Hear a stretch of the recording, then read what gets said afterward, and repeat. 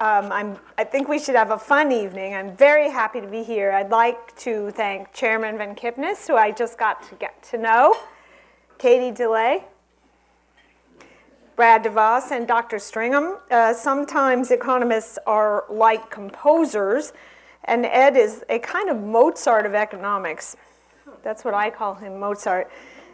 Each essay in Dr. Stringham's book, Private Governance, if you listen to it, is a piano sonata. Uh, particularly chapter 8, Private Policing in California, reminds me, I'm not kidding, um, it's as elegant and neat as Piano Sonata 16. So I'll just throw that out there. I'm serious. I'm a big fan. So, uh, recently, Federal Reserve Chairman Powell made some remarks about the founder of the modern Fed, Marriner Eccles. Chairman Powell said of Chairman Eccles that Eccles had created a central bank able to make decisions in the long term best interest of the economy without regard to political pressure. In addition, Chairman Powell said of Marriner Eccles that, from my perspective as Fed chair, he, Eccles, is responsible more than any other person for the fact that the United States today has an independent central bank, independent. And that's the suggestion was is that's what a good Fed chairman is, independent, responsible. Listen to the phrases independent central bank, even more important, independent man. He is responsible. He is responsible. He is responsible. That's the description you get of any Fed chair, and the point reflects received wisdom. Our nation's prosperity is based on men, women, um, responsible, wise, intelligent people, men or women in the Fed can fend off a pushy president, can keep inflation down, a responsible man can make bold decisions that mean difference between smooth water and rough storm. What does a rough storm look like? Well, most of you know, but for the very youngest, I'll say a rough storm would be the 1970s. And you all know these data points, but I'll mention them again. Mortgage interest rates over 15%, federal funds rate that peaked at 22.4. Joblessness, of course, well over 5%, sometimes past 10. Economy so lacking in confidence that it makes the United States itself lose confidence. So tonight my job is to tell you a story about an independent, responsible man. A man named Arthur Frank Burns and you know him, but I'll still tell it. Uh, uh, some of you will remember. As it happened, uh, he served as Fed chairman from 1970 to 1978. Um, and once you, you have heard or are reminded of Burns's story, you can form your own judgment about good men, their capacity to handle monetary storms, and their capacity to fend off pushy chief executives. It's a good story. It's a rather dramatic. It's a story, um, and I'm not stretching here, worthy of Sophocles, or at least particularly the Theban plays, in which, as you recall, the hero Oedipus tries to arrange his life to avoid tragedy, only to cause the very tragedy he labored so long to preclude. It's also a story that has echoes of policy today. Um, you'll hear them, but the telling takes a minute, and I'm grateful for your evening time. Before this uh, lecture, I asked, have they had a drink yet? because there was alcohol, we decided against the PowerPoint. I want to remind you, um, sometimes we, we think of Burns differently, that at the time it seemed, uh, that would be the 60s, 70s, right? 50s, if ever a man seemed to display these necessary traits identified uh, by Chairman Powell, it was Arthur Burns. We'll start with the independence part. You know that uh, Burns was born in Stanislav, which was then in Austria, just after the turn of the century. He wasn't just intelligent, but he was super intelligent. And in a way, his intelligence was his passport to the United States. It's, it's an immigrant Burns was, who didn't arrive so much as catapult in to the United States, astonishing teachers. At the age of six, he translated Talmud into Polish and Russian or from Polish and Russian into English. At the age of nine, he debated free market capitalism, arguing naturally on the free market side. Um, an avid student, he zoomed through Columbia, graduated Phi Beta Kappa, and then upped his already impressive tra- trajectory with a doctorate from Columbia, and I've met some of his colleagues here tonight. A doctorate, it should be noted, uh, completed as the Keynesian revolution took hold. Know, it wasn't, it wasn't solid doctrine yet, right? Um, and even as a young man, Burns was recognized as one of the greatest economic talents around. Um, Wesley Mitchell, one of the founders of modern economics, sponsored him and promoted him in Burns's case. And I want you to recall this when we get to the material later. Intelligence and independence seem to, to him eh, syn- synonyms. Are they? Intelligence and independence. Um, because he was so intelligent, Burns understood pre Keynesian economics, he understood Keynesian economics, he, he, uh, uh, he decided that he believed that monetary and fiscal tools affect the inflation rate and the growth rate, okay. But he made himself a loud and public enemy of inflation. Um, that was, as he saw it, part of his intelligence as a young man. Um, he was very proud that he didn't go along with the rest. In the 50s and the 60s, when scholars were building what we now call Phillips curves, Burns refused to concede the argument of the curve. He didn't want to concede there was a trade-off between inflation and unemployment, that, that the nation must have to pick between those two hazards.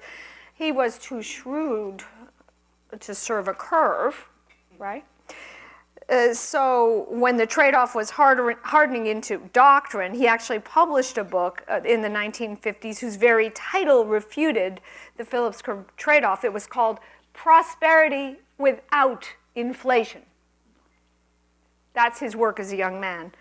He kept a distance from other doctrines. Um, uh, he was uh, Austrian born, but not Austrian, right? Um, if you know what I mean. Um, he didn't have much to do with Mises or Friedrich von Hayek, and I learned tonight that he refrained from granting Anna Schwartz her well earned doctorate at Columbia University. That would be Anna Schwartz, Schwartz, and Friedman. So he, he could be cruel.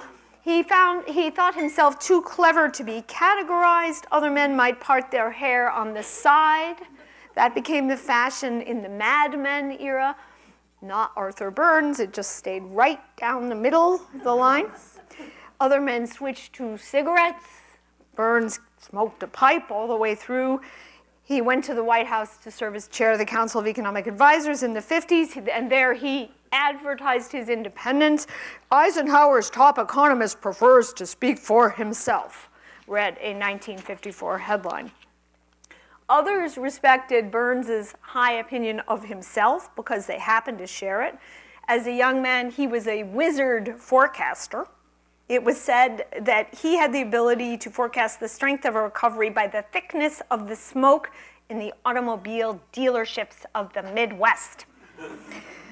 And uh, one very special client appreciated Burns's talent in a big way. That client was Vice President Richard Nixon in 1959 and 1960, the period when Nixon was running for US president, building up to or running. Burns muttered into the candidate's ear that the discount rate had to be lower, say 2%, not 4% for the incumbent party, that would be Nixon's party, to stay in power. Well, for whatever reason, John Kennedy became president and not Richard Nixon. And what Nixon would remember was that Burns had given him a priceless gift. If you think this story is about ego, it is. Burns had given Nixon a priceless gift. Nixon could blame his electoral loss on the Federal Reserve chairman. It was that interest rate. William McChesney Martin, not himself. It's not his fault. And this, the result of this argument given to Nixon by Burns was an affection of Nixon for Burns that gave Burns a crucial in with Nixon just want to say one or two things about that second characteristic Chairman Powell identified, which is responsibility. Burns looked responsible. Um, I told you about the part. Um, he was good to some students. You may know that Milton Friedman was his protege. So, in a way, by the way, was Tom Sowell, Thomas Sowell, for whom Burns wrote a very strong recommendation to the University of Chicago's doctoral program in economics, even though Sowell didn't always have the qual he didn't have a perfect portfolio for his application, and Sowell did get in. By the 1960s uh, time of our story, Burns was 60, older than 60, head of NBER, leader, even pope of economics in the United States. Responsibility also related to policy, and Burns had his personal how of how to get things done. But again, the goals he had stayed the same and were, were very virtuous. One was um, that inflation was bad, so it must be stopped. He always reminded Nixon he came from a place that became communist and communist leaders, because of their political power, inflated the currency and killed democracy. He deplored measures that threatened monetary stability. He deplored wage and price controls. It had been his good fortune to live in the West as an immigrant, and he wanted to preserve the West by preserving the gold standard. Part of the strength of America, he understood, was our money. And remember, in Burns's era, the relevant law was the 1946 law, the Employment Act. The 1946 Employment Act, as many of you know, um, suggested that the government coordinate all its parts in a manner, open quote, calculated to foster and promote competitive enterprise and the general welfare, period, close quote. The 1946 Act does not say, and the Federal Reserve must inflate in order that there be more jobs. It's, it's kind of, it, you, it, it, it's, it's been interpreted in the courts, but it's also subject, you can hear the ambiguity in it, to interpretation. It, it, therefore, what Burns wanted might have been possible. Um, it's, you know, that was before the more recent law, which we'll discuss later. In other words, um, Arthur Burns was perfect. When you get to 1960, and then 1968, the, the world in 1968 seemed to need an independent, responsible man especially badly. In the name of creating a great society, the subject of my book, Lyndon Johnson and Congress had increased domestic spending more dramatically than presidents in the past. Inflation was over 4% and heading towards 5. The Fed chairman at the time, when Nixon began to run, was perceived to be failing. Um, everyone knows the famous line about William McChesney Martin that he that he said the Fed chairman's job was to take the punch bowl away just when the party got going. Well, Martin did not take the punch bowl away, clearly. Um, he left the discount rate too low, too long. Um, the executive branch in Congress in 1968 were blaming inflation on war spending. It, it, the number of soldiers in Southeast Asia had increased tenfold in about a minute. And Burns, rare among economists, pointed out, even before he went to the White House, that it was the butter that was the trouble, not the guns. That when the war ended, he said, we will still have too much cost from all the entitlement commitments of your great society. Miracle of miracles, a new candidate, Richard Nixon, his friend, is running for president. Miracle of miracles, Nixon understands about inflation. Miracle of miracles, he calls Burns. He taps Burns. He remembers what Burns said about the 60 election. He respects Burns. And as their talks progress, the talks of a candidate who's about to win with an economist, Burns' hope only grows. This is because of a factor that has nothing to do with the quality of Nixon's policies as he represented them in 1968. The issue was Burns's vanity, and that is the vanity from which we all, to some extent, suffer the academic vanity of liking other educated people because they make us feel comfortable. As very academic people, and that includes Nixon and certainly Burns, are uncomfortable around regular people. Um, and Nixon, unlike Johnson, was educated. Uh, to meet Nixon was a relief after meeting Johnson, who appeared to Burns a slob. And Nixon, another miracle, showed he respected Burns by giving Burns that one thing that intellectuals prize. He listened to Burns.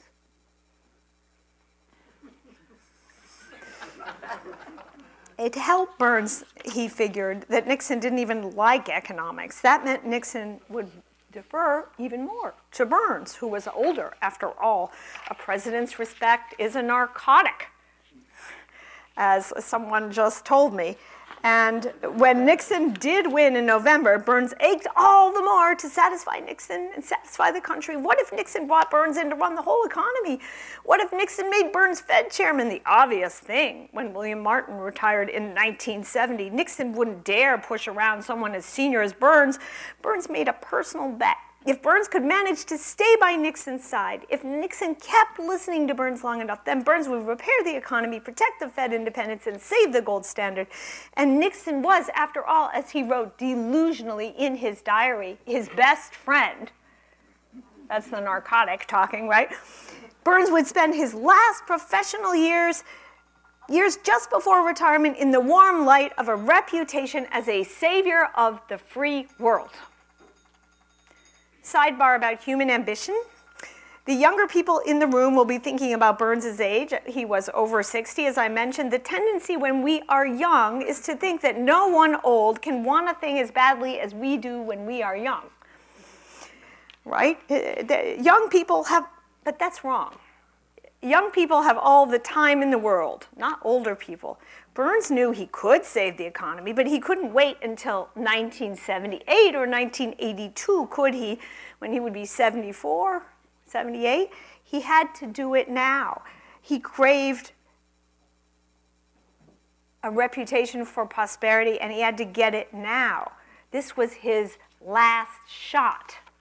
And that kind of desperation is, unfortunately, a feature of us older, ambitious people, right? At first, in the Nixon administration, it all went swimmingly for Arthur. Nixon did have quirks. Um, he maintained a kind of Praetorian Guard, two young campaign men, John Ehrlichman and Haldeman, right? And sometimes you had to go to them to get to the president. Okay, Burns thought I can handle that, and he did. He called them the boys, Haldeman and Ehrlichman. And the boys respected Burns, at least appeared to at first, and Nixon pulled Burns close. And Nixon tapped Burns for serious projects such as studying the entire government and writing a report about how you could keep up with inflation in, with the wages of the public sector. And Burns wrote us big schematic with the early PowerPoint and the early Excel pages of all the salary raises that all the government employees would have to get to keep up with the inflation that they caused. Okay in any new administration, there's a kind of sorting that occurs, and the wild figures who are popular and foremost in the campaign, the Steve Bannons, uh, sometimes lose out to the older, steadier hands who turn out to, to be rather devious sometimes. Um, that key victory also came to Burns. Um, another Nixon advisor, a happier, um, more lovable figure, Daniel Patrick Moynihan, was much loved by the president, and Moynihan was putting forward a great social democratic plan, an idea you haven't heard of lately called guaranteed income, universal guaranteed income. Um, and Burns could see Nixon liked that idea for the votes. You get a lot of people on welfare, you get a lot of votes. And Burns determined to serve Nixon by warning him, and he uh, illuminated Nixon and showed him how many millions more people would effectively be going on welfare. And Burns, a data hound, which is what he was, marshaled his numbers, and Moynihan crunched numbers rather sloppily. Moynihan's strength was not data. And Burns definitely outcrunched him, and he pulled in his best subordinates to outcrunch Moynihan, including one Martin Anderson, who you may have encountered and pulled out all the data and showed Nixon what an awful idea this guaranteed income was. And, and, Nixon saw that Congress felt the same way. And in the end, Burns won, and Moynihan was shipped back to Cambridge. Uh, so that victory was there already for Burns. He was on the up. Nixon offered him Treasury, which Burns declined. He wanted the Fed. Uh, but Burns gave Nixon kindly some names of some appropriate people, maybe from Wall Street, um, you know, who he thought would fit at the Treasury, which is less important than the Fed. And in addition, Um, he was happy, I, am sure, because William Martin had raised the interest rate to 6%, and maybe inflation was taken care of. How convenient. You come into the Fed and you don't have to battle inflation because your poor beleaguered predecessor did it for you. At um, Burn, the time of Burns' swearing in, Nixon made a joke. Uh, he cracked a joke about the independence of the Fed. He said that it was a myth. Well, Burns, uh, Burns told himself that was just a joke. He could train Nixon back into respect. The stage was set for Arthur Burns, Fed chairman, Arthur Burns, superstar. But a funny thing happened to Burns when he became Fed chairman. Suddenly, Nixon became unavailable. Instead of meeting, and Burns was a delicate, you know, inquirer, you know, he sent all sorts of feelers about meetings with the president. Instead of meeting, Nixon sent men to see Burns, the very boys for whom Burns had so little respect. Haldeman, Ehrlichman, who were they? They were the, and they were the president's messengers. Add insult to injury, they scolded Burns. Ehrlichman uh, later, in his memoirs, wrote, wrote down the script for one of these meetings with Burns when they took him to the woodshed. Okay, you ready? So Ed's going to be Arthur. The president made you chairman of the Fed. Jay, oops, I mean Arthur, I mean Ed. The president made you chairman of the Fed, Arthur. You are deeply in his debt, Arthur. Come along and join us on our policy. Stop talking independently. The president expects you to be loyal. What's going on? This blocking um, wasn't necessarily because of any change in Arthur, it was because of a change in Richard Nixon. The Nixon of 70 and 71 was not the same president elect, the intellectual who flattered Burns into joining the administration in 68. In 78, Nixon was an incumbent president running for office with less than two years to go. Uh, Nick, this new Nixon wanted two things, which all presidents seeking a second term want. He wanted the Fed to lower interest rates, or at least not raise them. And he wanted Burns to stop his famous independent rambling speeches so the administration, including the Fed, would speak with one voice. Well, Burns thought that was offensive, and he thought he could get past these Nixon ideas and Haldeman and Ehrlichman. But then Nixon did something unexpected, well, unexpected to Arthur Burns. Rather than accept Burns's sage recommendations for Treasury Secretary and take some harmless fellow from Wall Street, Nixon selected his own Treasury Secretary, not an NBER scholar, not a Wall Streeter, not even a Republican, a Democrat, John Connally, a kind of puffed up version of Lyndon Johnson, John Connally of Texas. Connally was afraid of no man. He told the Europeans, Burns's friends, whatever he felt like telling them. For example, they were having a little trouble with the gold going out in 1971. Connally promised the Europeans America would never raise the price of gold, devalue, close the gold window, none of that. Wait a minute, said a little staffer, or actually a very tall staffer who worked for Connally named Paul Volcker. Um, the, the Europeans are withdrawing gold. We may have to do something about the gold price or the gold window. Oh, that doesn't matter. I don't care, said Connally. It's a good thing to say. And Connally hurt to insult to injury Connally made it clear he didn't want to listen to any Arthur Burns. Connally wanted Burns to go along with his policy, which he would set. Um, so what, what the end of the story is what could be called Burns agonistes. Burns didn't want to give up. He didn't want to lower interest rates or even keep them low, and Nixon kept avoiding him. How could he see the president? He knew he, in his heart that if he could explain it all to Richard to Dick, then it, everything would be fixed, but he just still wasn't getting access. One of the ways he could see the president was to attend church service at the White House. You could go on Sundays. Great, very important. So Burns did attend when he could. One weekend in 1971, he planned to attend, but Nixon ordered Burns stricken from the church list. Oh, Burns somehow managed to get into the service anyhow and begged for attention, and the president rebuffed him. Why does Arthur need to see me? Nixon asked the men. He says we don't understand him, said George Shultz of the Office of Management and Budget. Shultz had already become uh, the Nixon whisperer at this point. He feels the White House pushes him too hard. Nixon told his men he would see Burns after some scheduled testimony by Burns. Wait and see if Burns behaved. Burns continued to play for time. Because raising the interest rate would be a provocation, even though inflation was strong, he fiddled around with his version of QEs, subtle, with the money supply in various ways, provoking the first big public criticism of the Fed chairman from, of all people, his own student, Milton Friedman. But for Nixon, Burns' actions were never enough. Even as he dispatched deputies to work his mischief, Nixon rambled on to whoever would listen about the disloyalty of Arthur and people like Arthur. The, the president thought Jews were the problem.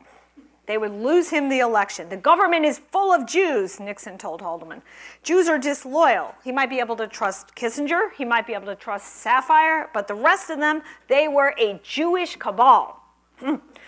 They work with people like Burns, and they all only talk to each other, only Jews. In Burns' case, this was hardly so. The one person Arthur Burns wanted to talk to was Richard Nixon, right?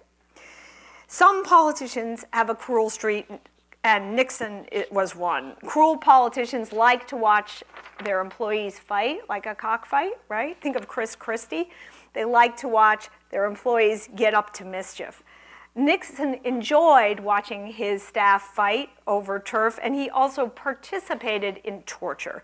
No question about it. I'll read you some more of Nixon. It's almost painful, it's so awful. Connally doesn't really like Jews, Nixon said. People like Burns, well, that's too bad. Too bad for Burns, right? They're just going to have to take it. In the summer of 1971, when Burns was still not going along in reducing the interest rate, Connally and Nixon played a trick on Burns. They decided they would plan a story about how it was time for the Fed to be integrated into the Treasury. Hmm. No more fourth branch of government, no more 1946 law ambiguity, no more Employment Act. And in order to disable Burns and discredit him, they would do something else. They would take that old notional salary increase Burns had proposed because the Fed had been included in this government wide survey of how much wages would have to go up. And they would twist it so that it became a lie. They would say that Burns had asked for a 50% raise now. Can you imagine a Fed chairman who would do that? And they would feed this lie along with the idea that it was time for the Treasury to absorb the Fed to the Wall Street Journal. Well, this story duly appeared in the Wall Street Journal. White House wants to end Fed independence. Greedy Fed chair asks for 50% raise. Mm. Nixon and Connally chortled over this trick. We know from the tapes, Nixon told Connally, your little tactic you suggested got home to our friends across the street, that would be Congress. In Congress, Wright Patman, the populist, a fellow Texan of Connally's, reacted with satisfying predictability, assailing the Fed.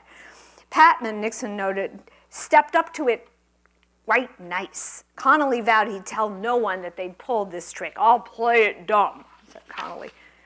So Burns is by now, summer of 1971, beside himself, like a torture victim, recovering in his cell after a session, right?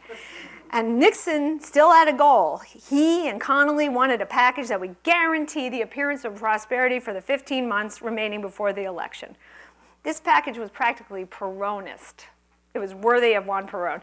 It included projects the free market Burns was supposed to hate. Outright wage and price controls, not just government suggestions, tariffs, closing the gold window, devaluation maybe.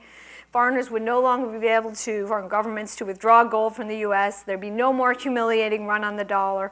When I explain the role of gold to, um, in the American mind to very young people, sometimes I will mention the Bitcoin. I don't mean to offend you because even those of us who doubt the Bitcoin can concede one thing is true about it, which is that is a measure of distrust in a sovereign currency. Right? And gold's price on the free market at that time was above the official $35 price. And that spread was the quantification of the world's distrust in the Great Society dollar.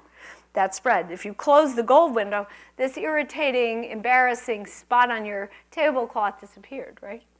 Gold, right? Um, Nixon, though, needed something to complete his plan. He needed all his team to sign on if the package was to be received by the country. I told you Burns was a torture victim and he was ripe to confess. Nixon and his gladiator, Connally, took the next step and they did the thing that torturers always do. He switched to the soft treatment to get the final confession. Uh, the soft treatment for this particular prison prisoner, and I would call him that, was the trip to Camp David with the rest of the economic team, the famous trip in August 1971. Treat Burns like the royalty he is, get him to go along, remind him of the perks of giving in to this strange plan. Burns got the perks. He, he got to go in the presidential helicopter. He got a special Camp David blazer with his name on it. He got tumblers, little glasses that said Camp David. The others were also there. You know who they were Paul Volcker, Pete Peterson, many other names. George Shultz, they got blazers, but Burns was the only one to get the glass tumblers. and of course, they all got something better than that. I don't want to be too hard on George Shultz, um, who was protesting all the way, but they got something better than that. They got the feeling they were included, that the president was listening to them again, that they would be included when? In the next term the next five years, they were like Olympians, gods, writing new economic policy alone with the president at his special retreat. Burns should have opposed this package. Uh, to his credit, again, like kind of like a torture victim in a television show, Burns made a show of fighting. The item he chose to fight on was closing the gold window. Uh, he got uh, an evening with with the president where he sang his heart out about the gold window. Paul McCracken describes it. Um, he told Nixon the Russians would make fun of them closing the gold window. Our market would crash. He told Nixon Pravda would say America abandoned capitalism by closing the gold window. Well, Nixon said Burns could count on the end of capitalism anyhow if the Republican Party didn't stay in power in 1972. This will be the last conservative administration in Washington, Burns, Arthur um, Nixon said at one point later. So Burns gave in on the gold standard, just as Nixon knew he would. He, Burns traded policy for his career and to win the affection of a president. And by the end, Burns was so befuddled that all he wanted was the appearance of respect, his own self respect and that of others. He managed to convince himself he liked this package. Uh, and you may have read that he told William Safire, I argued pretty strenuously against the gold move. But that's the only difference I have with the whole policy. And even on that, I don't feel so cocky. Nobody can be sure when it was decided, I told the president he would have my wholehearted support.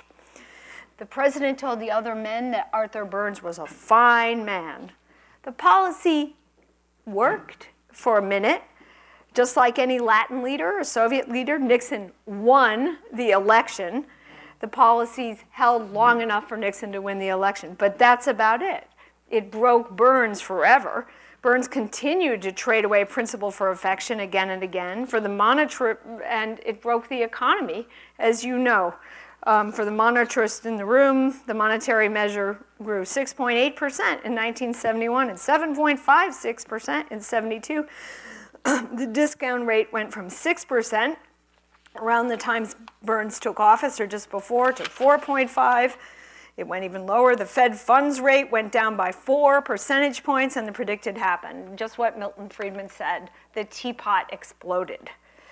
Um, Burns had always argued, as we discussed, that the Phillips curve was wrong, that you could have prosperity employment without inflation. In the 70s, we got the proof the Phillips curve was wrong, but not in the way Burns hoped, because we had malaise and inflation, right? Neither prosperity um, nor, nor stable money, the, the horrible inverse. This is the period in which Colonel Harwood was advising his clients to buy gold mining shares. Um, the gold price rose at first. As you know, it didn't soar at first, but eventually it did. The Greek tragedy was complete. What Burns had warned against, Burns had caused. I'll close by asking just a couple questions. What does this tell us? First of all, there is no such thing as a responsible man.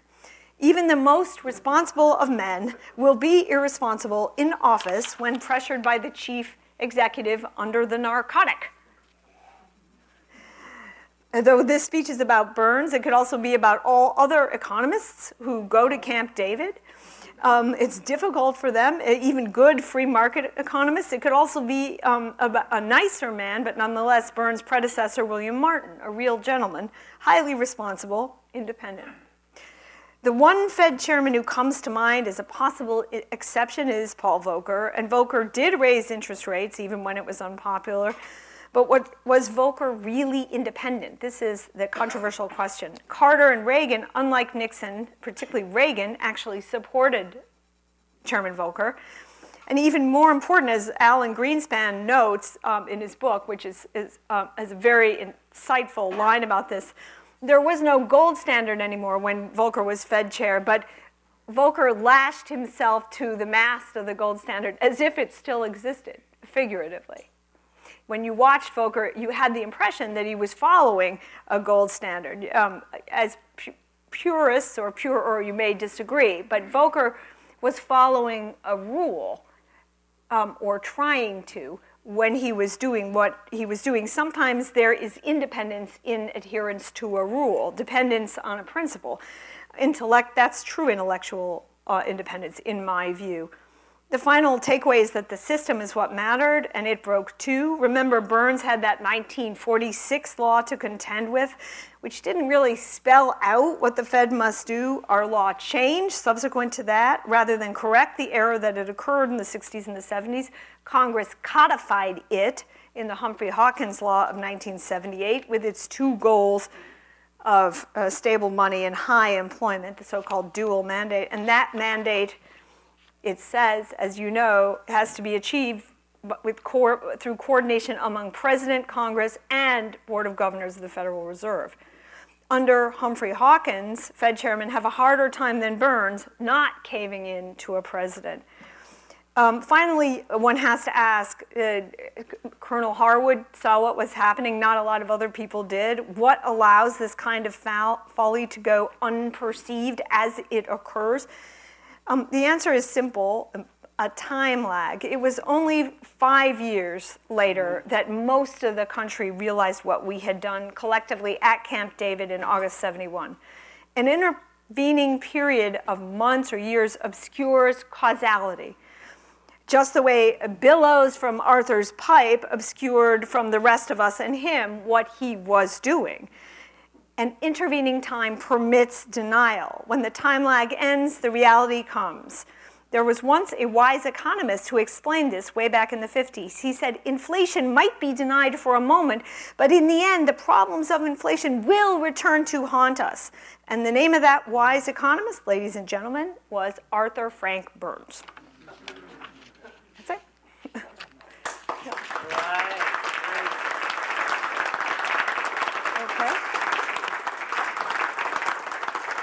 Thank you so much.